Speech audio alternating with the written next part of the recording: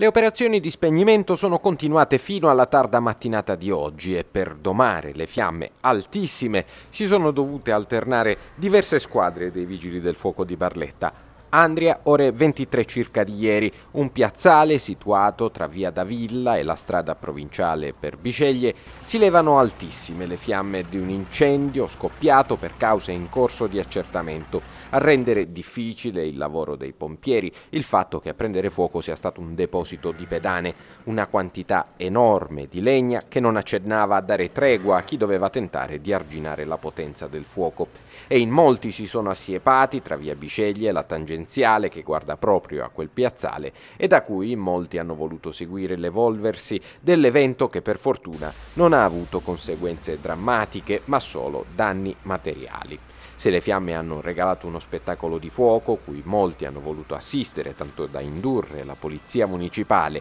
ad allontanare i troppi curiosi che hanno congestionato il traffico, è stamattina che si è potuto vedere quanti e quali danni ha prodotto questo incendio. Il calore è stato talmente forte da staccare il rivestimento in pietra di un muro di fronte al piazzale. Come nello sbuffare di un vulcano, i lapilli hanno raggiunto abitazioni vicine dove gazebo e arredi esterni sono stati gravemente danneggiati. Nel corso dell'incendio in diverse occasioni si sono sentite forti esplosioni determinate dalla presenza di bombole per il gas e compressori utilizzati per la produzione delle pedane. Praticamente sciolti dal calore le coperture in ferro sotto cui erano conservati anche i macchinari di cui non resta che un cumulo di cenere. Si tratta del secondo incendio di queste proporzioni che ha colpito questo stesso piazzale, il precedente è di circa otto anni fa.